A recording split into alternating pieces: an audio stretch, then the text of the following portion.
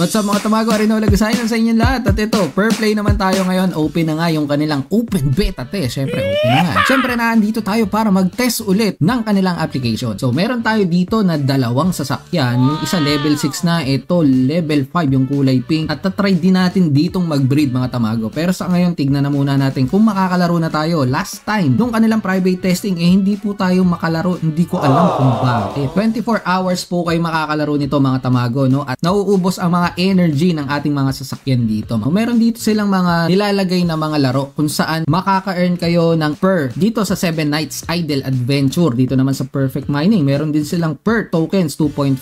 Mahirap po kasi makapagmina nito. Ang mga nakukuha lang ng mga gamers dito eh kadalasan yung expert token lang. Pero dito sa mga to kahit normal NFT po kayo basta level 20 naman ang inyong mga sasakyan eh pwede po kayong maglaro nito. Ako hindi eh level 6 lang yung atin so wala tayong level 20 kaya hindi pa tayo makakalaro dito. Kailangan pa nating magpa-level. Pero naman sila ditong mga recommended na andito normal, Idle 3 Kingdoms, ito nga 2.2 XP ang pwede nyo makuha. All types po ng sasakyan pwedeng makalaro dito at ito nga meron din ditong King God Castle, level 10 naman ang kailangan. So hindi tayo rin pwede dito. Pag kinlik nyo yan sasabihin sa baba, you don't meet the gameplays requirement. At syempre para sa mga Mobile Legend gamers mga tamago, ito pwede rin kayo makakuha ng 2 XP token. Ang XP token mga tamago ay pwede nyo pong ipapalit sa USDT. Yun nga lang dito mga tamago, no, kapag ka yung sarili nyong games, yung galing dito, import Web 2 games, galing sa inyong mga mobile phones, eh mababa lang ang makukuha na XP tokens.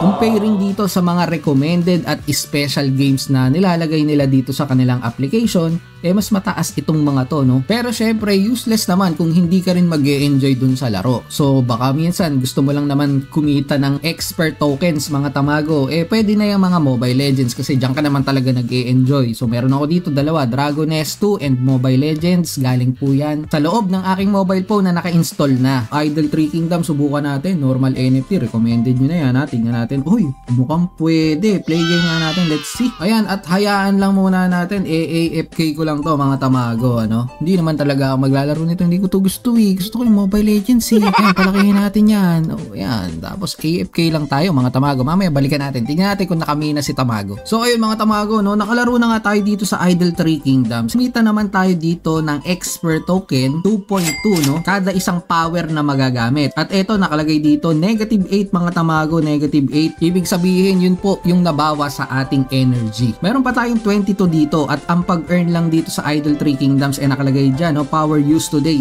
hanggang 15 energy lang. Kapag naka 15 energy use na tayo dito sa laro na to, eh kailangan na po natin maghanap ng panibagong lalaroin. Pagre-reset naman yung kinabukasan at pwede pa rin kayong makamina ng expert token dito sa Idle 3 Kingdoms. So pinakagagawin ko dito is back to the game ball lang tayo mga tamago, no? At naka-earn na nga rin tayo doon kagad ng ito 21.92 XP kagad mga tamago. Almost 9 minutes na gameplay lang. Eh nakakuha kagad tayo ng ganitong kalaking XP. Ito pong mga XP na to ay pinapapalit sa dollars. Nung last time parang ang palitan yata is 20x per token is equals 1 USDT. Kumbaga ito ay mga konting balik lang yan. Ito nga yung tinatawag na kumikita habang naglalaro. Meron naman dyan mga free NFT mga tamago kung kayo ay nakapag-register dati dun sa ginawa nating video. Naglapag tayo ng link doon at may pamigay nga sila na free NFT. Yun nga lang mas mababa yata ang pagmimina nun. But anyway, libre is libre. Pwede nyo pong maitry kung kayo ay nakapag-register dito sa OBT. Take note lang ano, para sa mga free user na nakakuha ng libreng NFT rito, eh hindi nyo po yun mai-out or maika-cash out hanggat hindi kayo bumibili ng NFT nga daw nila, NFT vehicle. So kung sa tingin nyo yung naipon yung XP eh enough na para maipambili ng NFT vehicle talaga rito, eh siguro that's the time na pwede kayong bumili kasi kumbaga parang nakuha nyo lang din ng libre no, yung pinambili nyo ng NFT vehicle eh galing lang din dun sa free vehicle na binigay nila para sa inyo. Again guys, dito po ay kailangan yung gumastos. Binibili ang mga NFT vehicle dito kaya naman talagang isiping mabuti kung kayo po ay maglalaro or papasukin itong per play. Ugaliin natin mag-research palagi. Hindi po tayo talaga kikita dito ng sobrang laki kasi kailangan nyo rin